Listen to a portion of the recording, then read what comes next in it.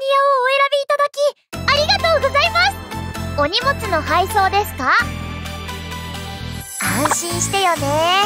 私に届けられない荷物なんて存在しないんだから。うん。荷物の中身は一体何なんだろう。気になる。うーん。ダメダメ。お客様のものを見ちゃいけないんだから。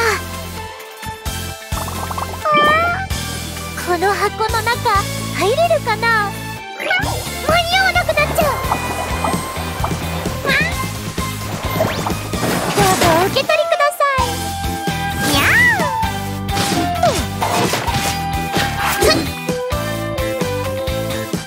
よいしょ。お荷物です。